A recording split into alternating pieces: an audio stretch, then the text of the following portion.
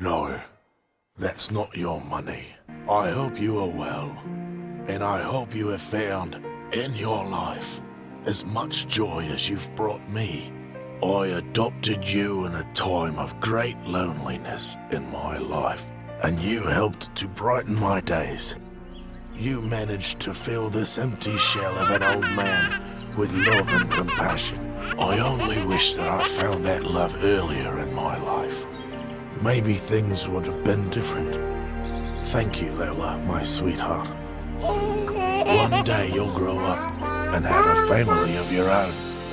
Please don't forget your grandpa or the joyous moments we shared together. I love you with all my heart. Love always, Grandpa.